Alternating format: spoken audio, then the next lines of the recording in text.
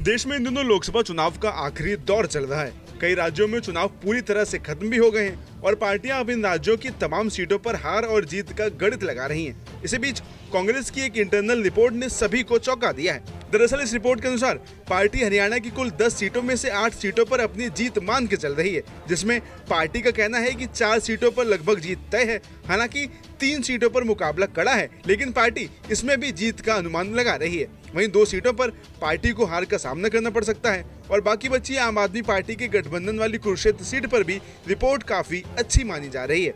इसी के साथ खबर है कि राज्य के पूर्व सीएम और दिग्गज नेता भूपेंद्र सिंह हुड्डा ने भी तमाम नेताओं से जमीनी स्तर पर फीडबैक लिया है। वहीं नेताओं की तरफ़ से मिला ये फीडबैक कांग्रेस के लिए पॉजिटिव है।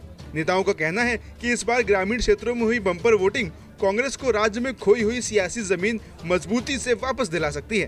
हालाँकि पॉलिटिकल एक्सपर्ट्स का मानना है कि चुनाव से पहले कांग्रेस बीजेपी के सामने चुनावी प्रचार से लेकर कई मुद्दों को बड़ा बनाने में सफल नहीं हो पाई थी। लेकिन फिर भी राज्य में कांग्रेस की ये लिस्ट आखिर कितनी सही साबित होगी, ये देखने वाली बात होगी।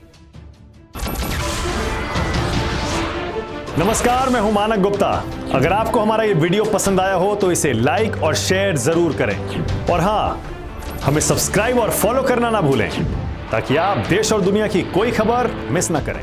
तो जुड़े रहिए हमारे साथ और देखते रहिए न्यूज़ 24